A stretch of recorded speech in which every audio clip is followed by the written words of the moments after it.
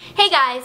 So if you follow me on Twitter, then you probably know that I am pretty obsessed with a Game of Thrones and I've been getting a lot of questions about it like should I watch the show, should I read the book, should I read the book and then watch the show? So I decided to just do an entire video on a Game of Thrones and I'm going to be talking about the book and then going into the HBO TV series a little bit and comparing it to the book and just giving you guys my opinion on it. So first things first, this is A Game of Thrones. It is the first book in A Song of Ice and Fire, which is an epic fantasy series by George R. R. Martin. And there are currently five books in the series, and it is rumored that Martin is writing the sixth and seventh novels. And if you are like me and you are a fan of the series, I know you have your fingers crossed for those novels to come out very soon. So deep breath, because there's a lot going on in this story. So basically, A Game of Thrones at its core is a mystery. Now I say at its core because that is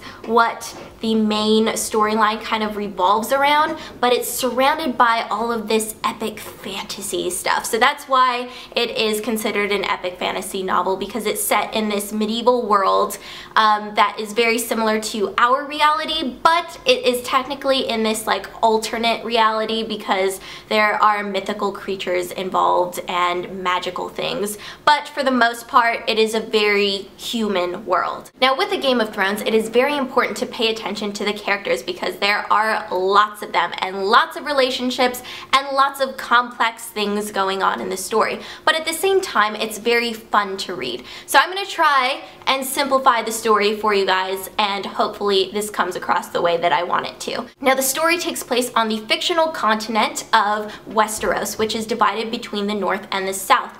The north being ruled by the Starks in Winterfell, which is like the capital of the north. Like I said earlier, A Game of Thrones at its core is a mystery, and the mystery is how did Jon Arryn die? Now Jon Arryn is the hand of the king, so the king of Westeros is Robert Baratheon, and the hand of the king is basically like the king's advisor. He helps him with political decisions and basically does all the stuff that the, king doesn't want to do, so all the boring stuff. So Jon Arryn dies, and that means the king needs a new hand. So the king leaves King's Landing in the south and travels up north to Winterfell to see Lord Eddard Stark. Now Eddard Stark, or Ned Stark as he is nicknamed, go way back. They were really close and they were basically like brothers. The king goes up all the way to Winterfell to ask Ned to be the new hand because he feels like he can't trust anybody around him and Ned is the only person left that he can truly trust. Ned is reluctant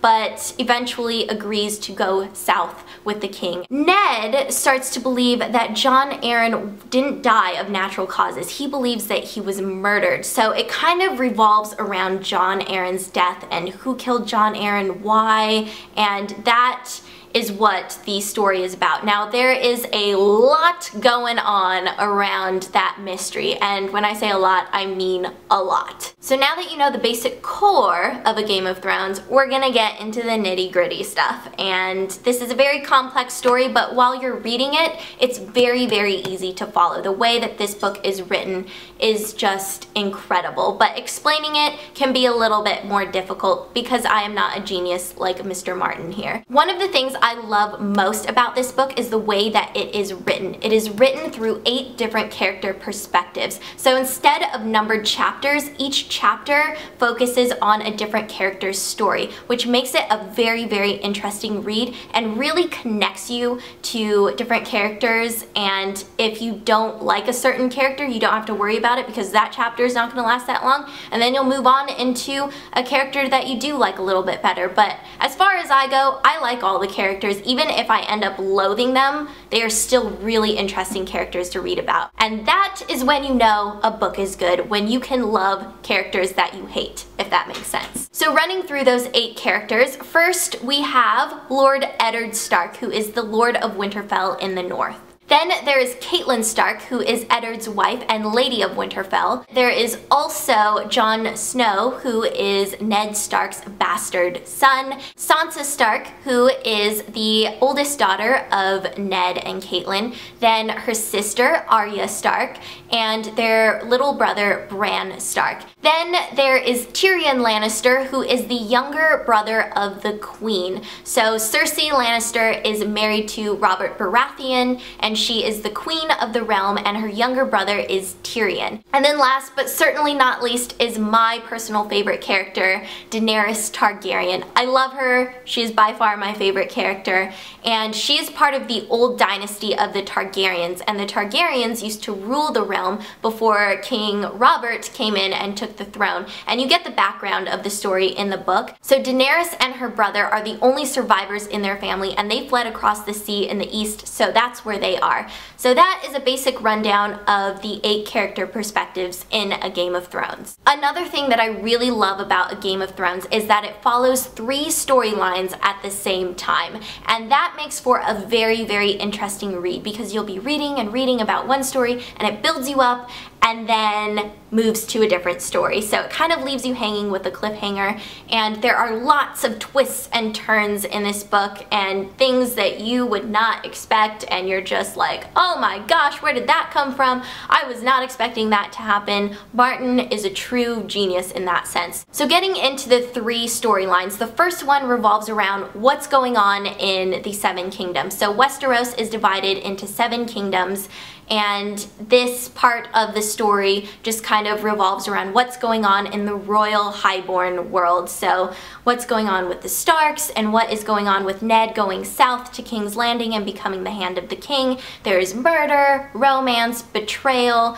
everything and anything that you could ever wish for in a story is in this book. The second storyline follows the happenings at the wall. Now the wall is up north above Winterfell and it is basically this huge barrier, this huge icy wall that is hundreds of miles long. It is a massive, massive wall and it is there to kind of protect the rest of the realm from what lies above it. So all of the creatures and mystical things that are up there that could cause harm to the realm beneath. The wall is manned by the Night's Watch, which is a group of men who a lot of times are outcasts. So people who have committed crimes and if they aren't sentenced to death, they'll be sent to the wall, which is actually considered worse than death because it is a very hard life. It is very, very cold up there and they have to wear all black. They take the black so they wear black. They um, vow to basically devote their lives to the wall and protecting the realm. People who are sent up there are basically forced to join the Night's Watch, but there are people like Jon Snow, who is Ned Stark's bastard son, who volunteer to serve on the Night's Watch, and they take a vow of celibacy and, like I said, devote their lives to the wall. Then the third storyline follows all of the events that are happening in the east. So everything that is happening with Daenerys Targaryen and her brother, and her brother is basically very set on getting the throne back and will do anything that it takes to get the throne back and it kind of follows their journey. And um, Daenerys just turning into a strong independent woman. And it's a very very interesting story. So that is the Game of Thrones book in a nutshell. But I do want to say that it does have mature content. But to me personally I am not bothered by reading scenes of violence in books. I'm more bothered by seeing it visually on a TV screen. But when I'm reading it it, for some reason it doesn't really bother me. So just kind of keep that in mind. There is like incest and you know, violence. I do recommend discretion when it comes to this book. You know yourself better than anyone else, so I just want to put that little disclaimer out there because it does have mature content. Okay, so now moving on into the HBO TV series. HBO does have a Game of Thrones TV series. It is currently in its second season that just premiered on April 1st, and I have seen the entire first season twice. So I watched the show, which made me want to read the book, and then I watched the show over again so I could compare it to the book and I have to say they stay very very true to the book which I was so happy about. I think for the time that they have in the TV show they do an incredible job. It is a visually beautiful TV show and I just love how they stay true to the book. They do um, make some liberties in the sexual department. So there are some scenes in that realm that don't necessarily occur in the book, but it is HBO, so they do add a little bit of that stuff to their TV show just to spice it up, I guess. So just kind of keep that in mind. There is like nudity and violence in the show. I would say as a rule, if you are 15 years of age or older, um, the books are fine to read. As far as the TV show goes, if you are under the age of 18, I would ask your parents first to make sure that it's okay with them. So I did see the very first episode of the second season and I loved it. I read just enough in A Clash of Kings to be able to compare it to the book and I think that the show is just incredible. So I highly recommend watching the show as well. I really think that reading the book and watching the show just kind of supplement each other, but the book definitely supplements the show, and I do recommend I don't know, because I watched the show and then read the book, but it is good to read the book and then watch the show because um, you just get so much more background on the characters because the characters are so deep and you get so connected to them which I love when I read books. That is something that I really look forward to. So that is my video on A Game of Thrones and I'm really looking forward to finishing A Clash of Kings and moving on with the Song of Ice and Fire series because it is incredible. So I hope you guys enjoy this series as much as I do. I really wanted to share this with you guys and I'm sure a lot of you have already read this book and the other books in the series because I've been talking about it with people on Twitter and it's really fun to talk about it with people who are just excited, just as excited about it as I am. So if you love Game of Thrones, talk about it in the comments below because I love talking about it. Tweet me on Twitter about it because I love discussing anything Game of Thrones related. So until next time, I will see you guys later. Bye!